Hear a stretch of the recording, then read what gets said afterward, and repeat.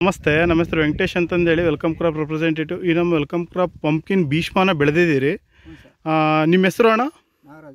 ಯಾವ ಊರು? ಯಾವ ತಾಲೂಕು ಯಾವ ಜಿಲ್ಲೆ? ಹಾಂ ಯಾವ್ದಿದು ನೀವು ಬೆಳೆದಿರೋದು ಬೆಳೆ? ಭೀಷ್ಮ. ಪಂಪ್ಕಿನ್ ಭೀಷ್ಮ ಬೆಳೆದಿದ್ದೀರಿ ವೆಲ್ಕಮ್ ಕಂಪ್ನಿದು ಹಾಂ ಯಾವ ಥರ ಇದೆ ಬೆಳೆ ಎಲ್ಲ? ಹಾಂ. ಹಾಂ. ಹಾಂ. ಹಾಂ. ಆಮೇಲೆ ರೋಗ ಅದೆಲ್ಲ ಹೆಂಗಿದೆ? ಹಾ, ರೋಗ ಏನು ನಾವು maintenance zero zero maintain zero ಮೇಂಟೆನೆನ್ಸ್ನಿಗೆ ಚೆನ್ನಾಗಿ ಬಂದಿದೆ ಬೆಳೆ ಎಲ್ಲ.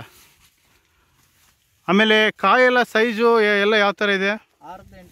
ಆರರಿಂದ ಎಂಟು ಕೆ ಜಿ ಆಮೇಲೆ ರೈತರಿಗೆ ಏನು ಹೇಳ್ಬೋದು ಈ ಒಂದು ಬೆಳೆ ಬಗ್ಗೆ?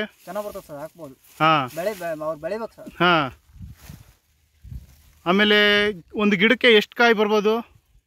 ಒಂದು ಮೂರು ನಾಲ್ಕು ಹಿಂಗ್ ಬರುತ್ತಾ? ಎರಡು ಮೂರು ನಾಲ್ಕು. ಹಾಂ ಹಾಂ ಹಾಂ. ಆಮೇಲೆ ರೈತರೆಲ್ಲ ಮಾಡ್ಬೋದು. ಮಾಡ್ಬೋದು ಸರ್.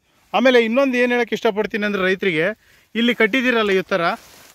ಉಜಿ ಡಬ್ಬೆಗಳನ್ನ ನಲವತ್ತೈದು ದಿನಕ್ಕೆ ಕಟ್ಟಿಬಿಡ್ಬೇಕು ಅದು ಹಂಗ ಅದು ಆ ಕಟ್ಟೋದ್ರಿಂದ ಏನಾಗುತ್ತೆ ಅಂದರೆ ಈಗ ಫ್ಲವರ್ ಆಗಿರುತ್ತಲ್ಲ ಅವಾಗ ಈಚ್ ಕಟ್ಟಿರುತ್ತಲ್ಲ. ಈಚ್ ಕಟ್ಟೋ ಟೈಮ್ನಾಗೆ ಅದು ಊಜಿ ಹೊಡಿತು ಅಂದ್ರೆ ನಿಮಗೆ ಇಳುವರಿ ಡೌನ್ ಆಗುತ್ತೆ. ಹಾ ಅವಾಗ ಇಳುವರಿ ಡೌನ್ ಆದಾಗ ಏನಾಗುತ್ತೆ? ಲಾಭ ನಿಮಗೆ ಕಡಿಮೆ ಆಗುತ್ತೆ.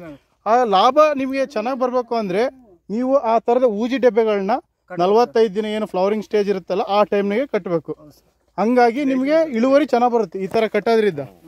ಆಯಿತಾ? ನೋಡಿರಿ ಆಯ್ತಾ ನೋಡ್ರಿ ಇದು ಎಲ್ಲಿ ಊಜಿ ಇಲ್ಲ ಏನಿಲ್ಲ ನೀವು ಕಟ್ಟಿರೋದ್ರಿಂದ ಚೆನ್ನಾಗಿ ಮೇಂಟೈನ್ ಮಾಡಿದ್ದೀರಿ.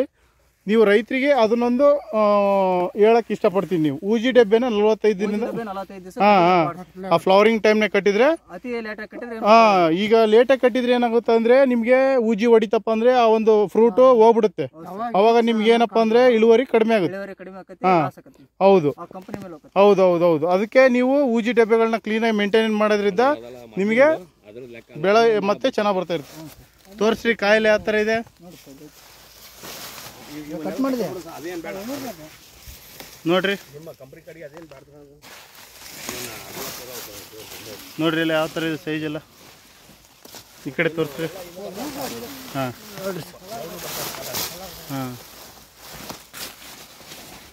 ಬಳ್ಳಿ ಎಲ್ಲ ತೋರಿಸಿ ಓಕೆ ಥ್ಯಾಂಕ್ಸ್ ಅಣ್ಣ.